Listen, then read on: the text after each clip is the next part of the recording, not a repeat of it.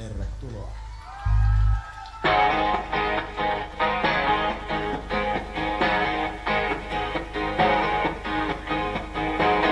Joskus tuntuu aivan kuin olisin niin.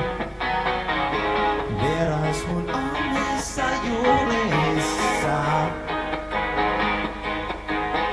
Joissa etsin niitä kasvoja.